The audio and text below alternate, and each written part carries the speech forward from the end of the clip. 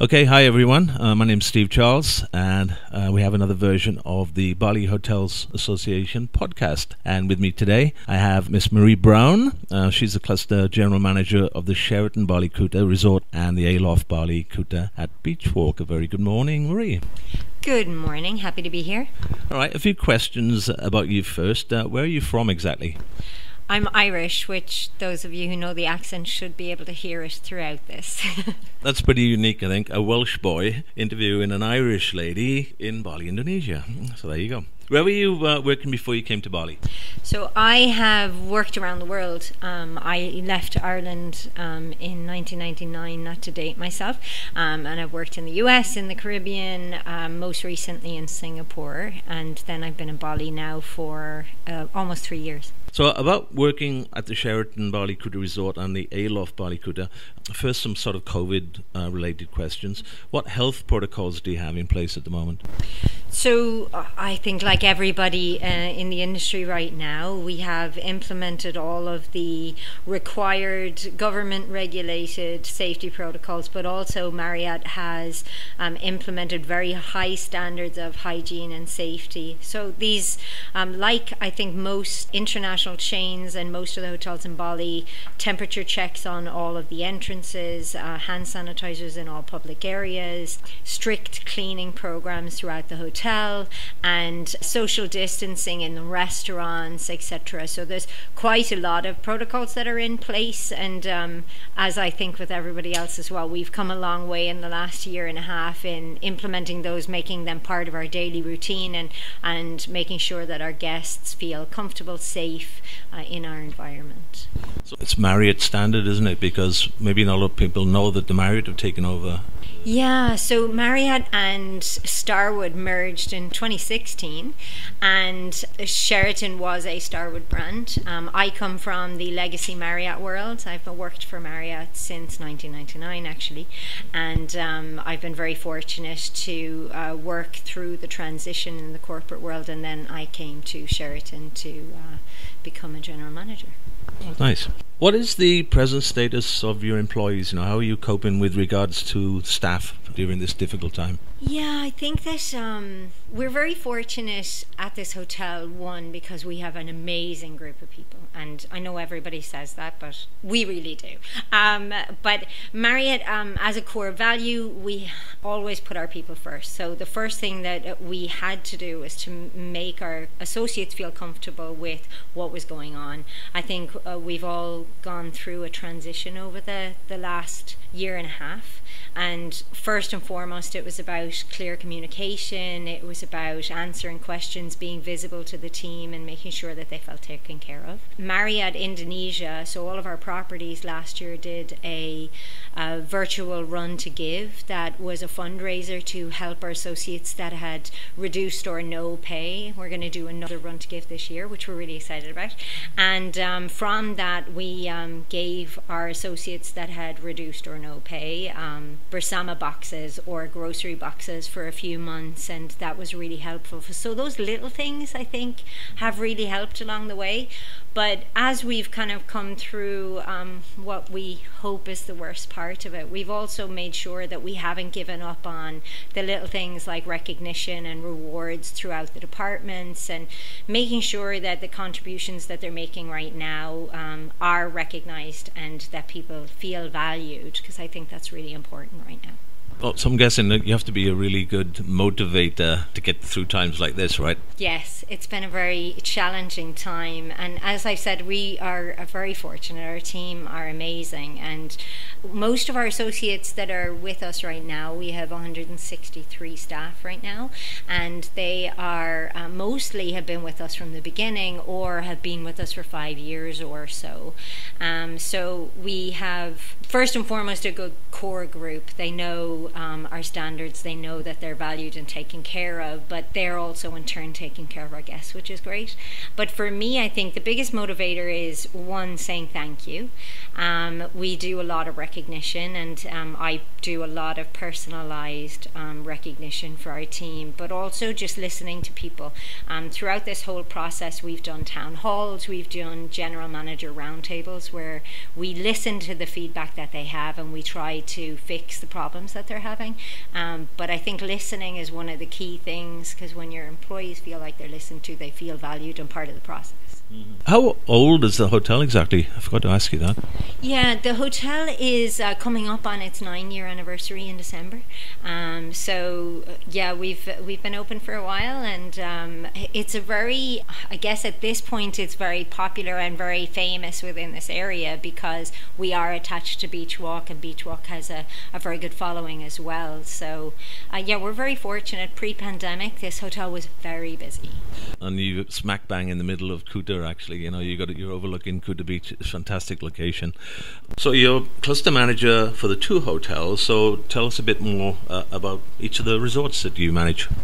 So the Sheraton, as we've said, has been open for nine years. Uh, it's 203 guest rooms. Um, we're very fortunate because we have large, spacious rooms. 46 square meters is our, our smallest room here. Um, the Aloft will cater to a different kind of clientele. So we've got our five-star resort here at the Sheraton. The Aloft is a four-star offering. It has 175 rooms and uh, we'll have a pool, a three mil, and a great bar in the lobby. Um, we're excited to open that later later this year. So uh, it is part of the expansion of Beachwalk. And anybody who's been into Beachwalk, now you meander into the whole new section with um, great new stores. And uh, we then sit above that new extension. So. Is that when you walk in the main entrance? Is that uh, at the back uh, on the left? Yeah, it's, it's where the old Harris Hotel used to be, actually. And they've uh, created a whole new complex. So if you haven't been in there, you need to go in there because there's quite a lot um, on offer in there. And then soon there'll be us as well. That's good. I'm happy because Marks and Spencer's there. yeah, me too. A little bit of home. What redeeming factor sells the hotel or the resort? So for Sheraton, um, 70% of our inventory actually is ocean view. So that's great. As we said earlier, this hotel is strategically located in the center of Kuta. We've got um, kind of everything the beach in front of us, the mall beside us, the entertainment behind us. So I think location is the number one, but obviously with views of the ocean, it's a, a huge selling factor for Bali. Mm-hmm. For the Aloft, our um, resort is really tailored to a millennial um, customer, and so the rooms are much more minimalistic, but they're very well positioned. They're tech friendly, and um, all of our offerings in the outlets in the lobby will all be tailored to that millennial generation. and It'll all be very Instagram worthy. So watch out for it. I've been uh, staying at the Aloft in Bangkok, and it, it's trendy and funky and classy. So we're looking forward to that. So I want a, an invite to the opening, okay? Uh, absolutely, absolutely. Which country was your biggest market? So prior to COVID, um, we were um, a pretty good mix actually. We were about 30% domestic, 30% uh, Chinese business, and then our next two biggest uh, markets were Japan and Korea. So now, obviously, um, with uh, COVID in place, uh, we're very heavy domestic, and um, that's been great because it's given the domestic customer a chance to rediscover our hotel, which has been really great. And um, we have a very um, big uh, number of loyalty members, our Marriott Bonvoy program in Indonesia, and, and they've all come to try us out, um, those that are here in the island. So that's been great. I think as we go into Q4 and Q1, Q2 next year, we will continue to um, focus on our domestic customer, but then try to reignite these international markets again as they open up. But I think Japan, Korea will be um, two of the first, and then obviously Singapore and Malaysia after that. Yeah. Um, seeing that the Marriott has joined you or taken over the, the, the, name, do you think that the demographics of your guests will change because of that or not really? No, I don't think our customer will change. Our Marriott Bonvoy members are already quite a, a varied demographic, but if for us it'll be more about the two resorts. Sheraton is targeted to uh, an older generation customer, Gen X and above. The Aloft is targeted to the, the millennials, the Gen And um, that will be our target and how we differentiate between these two resorts. What date are you looking at for opening? That's a great question. uh, but we do believe it will be December 1 at this point. Forward bookings, I mean, it's difficult, isn't it? But are you getting any at all? I mean, looking ahead to Christmas time, perhaps? Yeah, we, I mean, we are very fortunate because this hotel does tend to outperform the market with occupancy um, because of our location, um, because of the attraction of the mall, especially for the domestic customer. Um, I think looking forward, it's very challenging uh, in that it's hard to know what's going to happen. It will depend on uh, how the market evolves with our restrictions, whether we open to international for Q4. Um, so I don't want to commit to a number right now, and I think we're all waiting with bated breath for the borders to open and if for nothing more than to have free flow traffic in and out of Bali without as many restrictions, that will help everybody in the industry. Of course. All right. Kids, do you cater for kids at the Sheraton? We do. Um, we have actually just implemented a new program, which is a Sheraton brand program called Side by Side. And Side by Side is catered not necessarily to kids, but to families, because the whole ethos of the program is that families need to be connected more now than ever. And we want to give them a way to enjoy time together while doing activities. So um, these are things like our Grain to Table program, which is a uh, kind of a souped up cooking class, which kind of uh, talks about where the food comes from. We use locally authentic food so that we bring that into the dishes and then teach them a little bit about the Balinese food as well. So it gives um, something for them to do, but do together, and that's what's really important. Um, I think the other one that we have, which is our signature, is the sunset picnic, which is also a way for families to enjoy the sunset. We do promote our sunset cocktails on the rooftop, but for families, you need to have an activity that they can enjoy. So this is a nice way for families to enjoy the outdoors and um, also enjoy the beautiful sunsets that we have here in Kuta. Do you have any new programs that your regulars and returnees would love to hear about? Yes, of course. We always have something going. Um, but right now, we are um, promoting our Bali Sunset Escape package. Um, this is something that we put together a while back, but we've souped up so that our guests can really enjoy the entire resort. Um, it is tailored to a longer stay, so three nights or longer, and has inclusions like uh, sunset cocktails, uh, dinner for two, so they can really enjoy the entire resort. I suppose you're updating your regular guests through social media at the moment, yeah? Yeah, of course. It's one of the best ways to get to reach our customers, right, is through social media. So we have a lot of um, posts that we do. We update on our packages. We update um, just things that are going on in the area. And um, obviously, we're engaging with our regular customers via email as well. We've got lots of people that are reaching out to us from Australia, from Singapore, that want to come here and asking for updates. So one on one, we'll update our guests as well. So that it's nice to stay connected to those people that we don't see. Mm-hmm. Is there some people that we used to see very regularly that we miss? Yeah. Yeah, we all miss our regulars, don't we? Yeah. COVID aside, are your restaurants open to the public at the moment? Yes, they are. Um, the restrictions for restaurants have been eased here in Bali, which is great. Um, so our Bene restaurant is open now for breakfast, lunch, and dinner. We've got indoor and outdoor seating, so we're able to manage the uh, restrictions that are in place with social distancing and the proper uh, hygiene protocols.